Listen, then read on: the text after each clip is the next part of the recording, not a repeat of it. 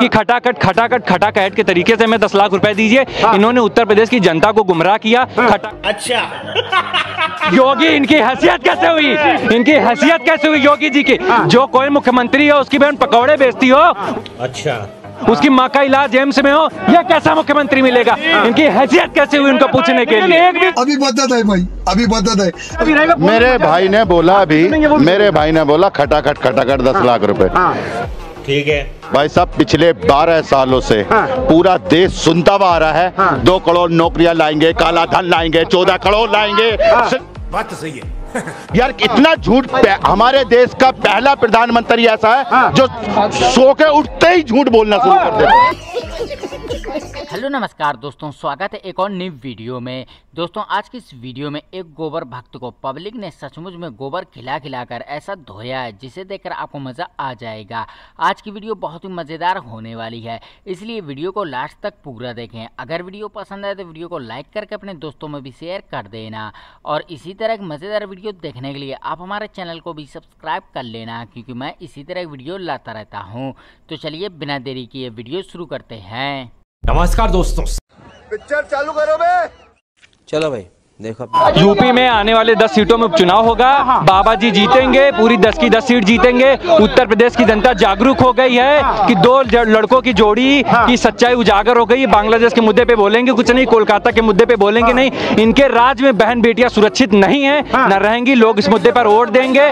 चूतिया नहीं लग रहा। है? चटक चूतिया लग रहा है। तभी कहता हूँ, इतना गोबर ना खाया करो। साले चूतिए, जब सरकार बीजेपी की है तो बहन बेटियों की इज़्ज़त का जिम्मेदार कांग्रेस और सपा कैसे हुई?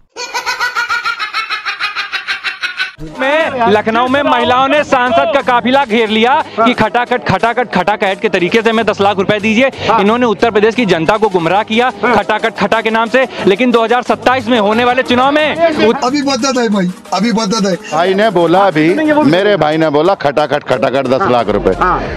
राहुल गांधी का एक बयान हाँ। भाई साहब पिछले बारह सालों से हाँ। पूरा देश सुनता हुआ आ रहा है। हाँ। दो करोड़ नौकरियाँ लाएँगे काला धन लाएँगे चौदह करोड़ लाएँगे। यही नहीं अभी और सुनिए। सिलेंडर की कीमत तीन सौ रूपए पे पूछाएँगे तेल को तीस रूपए पे पूछाएँगे। यार इतना झूठ हमारे देश का पहला प्रधानमंत्री ऐसा है जो सो के उठते ही झूठ बोलना शुरू कर देता और तो और जब मोदी चाचा पैदा हुए थे तो वो रोए भी झूठ मूठ के थे तभी तो आज पूरा देश रो रहा है। ये बड़ी अच्छी बात कही आप पता क्या है?